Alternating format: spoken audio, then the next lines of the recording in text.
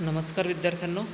D A V Moil public school Sita Sawangi E learning क्लासमध्ये तुमचं हार्दिक स्वागत आहे. आज आपण घटक व्याकरण क्रियापदांची रूपे यामधील भाग दोन अभ्यासू ठीक आहे?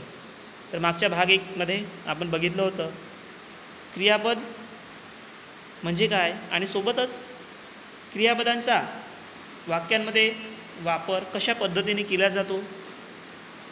कोणकोणती क्रियापदांची रूपे वापरली जातात? क्रियापदांच्या रूपांमध्ये कशा पद्धतीने बदल होतो? ठीक आहे. तर आज आपण थोडक्यात पुन्हा बघू. बघा क्रियापद म्हणजेच वाक्यातील क्रियावाचक शब्द. ठीक आहे? त्यानंतर आपण बघितलं होतं की मूळ जो धातू असतो एक धातुरूप शब्द असतो. त्या धातुरूप शब्दापासूनच साधारणतः क्रिया आणि क्रियापदांची वेगवेगळी रूपे तयार केली जातात. पण मूळचा जो शब्द असतो तो धातुरूप असतो. जसं बघितलं होतं आपण मागच्या भागामध्ये जसं दे बस खा हे धातुरूप शब्द आहेत. आणि त्यापासूनच एक प्रकारे क्रिया आणि क्रियावाचक जे शब्द असतात क्रियापदांची वेगवेगळी रूपे असतात ती तयार केली जातात. ठीक आहे? तर काही उदाहरणांची काही क्रियापदांची जी रूपे आहेत जसं लिहिणे खेळणे पळणे ह्यापासून वेगवेगळ्या पद्धतीने तयार केलेली गेलेली क्रियापदांची रूपे आहेत. जसं लिहिणे लिहितो. मुलगा असेल तर लिहितो. लिहिते मुलगी असेल तर लिहिते. त्यानंतर काळानुसार जर विचार केला आणि लिंगानुसार विचार जर केलं तर लिहिणेपासून लिहिला लिहिली एखादी पुस्तक असेल निबंध असेल तर लिहिला एखादी पुस्तक जर असेल तर लिहिली. तर अशा पद्धतीने लिहत आहे लिहत होता लिहिणार. वेगवेगळ्या पद्धतीने आपण क्रियापदांच्या रूपांचा वापर करू शकतो. त्यानंतर खेळणे खेळतो खेळतो खेळली खेळले खेळत होती खेळत होता खेळणार खेळते. स्त्रीलिंगी जर असेल तर खेळते. एखादी मुलगी मुलगी जर खेळत असेल तर खेळते. आणि मुलगा जर असेल तर खेळतो. आणि अनेक वचन जर असेल मुले जर असतील मुलगा मुलगी आणि मुलगा खेळतो मुलगी खेळते आणि मुले खेळतात अशा पद्धतीने क्रियापद बदलत असतो. त्यालाच क्रियापदांची रूपे म्हणतात लक्षात ठेवायचं. खेळणे ह्या क्रियापदापासून खेळतो खेळते खेळतात हे जी वेगवेगळी क्रियापदावर वापरले आहेत तेच क्रियापदांची काय आहेत रूपे आहेत.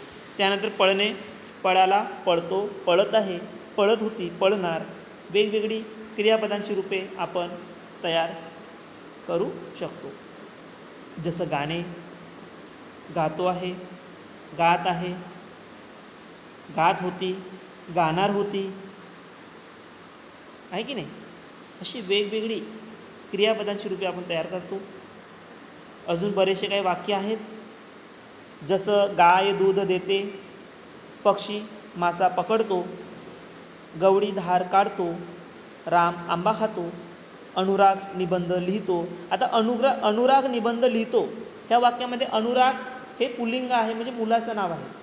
त्या ठिकाणी जर आपण एखाद्या मुलीचं नाव ठेवू शकतो जसं एखादं नाव सांगा सरिता हे एखादं नाव असेल तर सरिता निबंध लिहिते. मूल अनेक वचन जर असेल तर मुले निबंध लिहितात. लिहितोचं रूपांतर कशामध्ये झालं? लिहितात. आरोही लाडू खाते.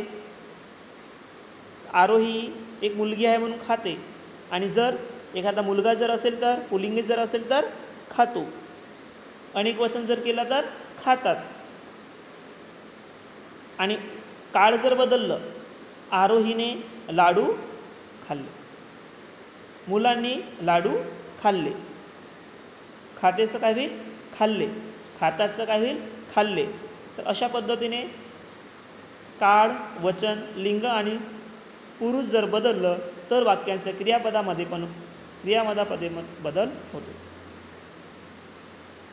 तो दररोज शाळेत जातो ती खूप अभ्यास करते. मी रस्त्यात पडलो तर ह्या सगळ्या वाक्यामधील क्रियावाचक शब्द कोणकोणते आहेत? देते पकडतो काढतो खातो लिहितो खाते जातो करते पडलो बसला आज भाऊबीज आहे यामध्ये आहे. बाळ एवढा लाडू खाऊन टाक यामध्ये खाऊन टाक काय होईल? क्रियापद होईल. आई बाळाला निजविते यामध्ये निजविते. क्रियापद होईल कारण निजवण्याची क्रिया झोपवण्याची क्रिया काय आहे? चालू आहे वाक्यामध्ये. तो गुरे चारतो चरण्याची क्रिया चारण्याची क्रिया चालू आहे म्हणजे चारतो काय होईल? क्रियापद होईल. मला आता काम करवते करवते हे काय होईल? क्रियावाचक शब्द होईल. तर अशा पद्धतीने वेगवेगळ्या क्रियापदांचा वेगवेगळ्या पद्धतीने वाक्यांमध्ये वापर केला जातो. ठीक आहे? अजून काही वाक्य आहे तुमच्यासमोर जे अधोरेखित केलेले शब्द आहेत ते क्रियावाचक शब्द आहेत समजून घ्यायचं. ठीक आहे? आणि हे तुमच्यासाठी आजचं गृहपाठ आहे.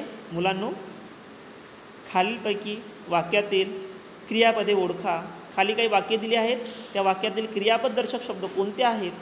ते तुम्हाला ओळ ओळखायचं आहे. ठीक आहे? तर लिहून घ्या तुमच्या मराठीच्या वहीमध्ये. आजसाठी एवढंच. धन्यवाद.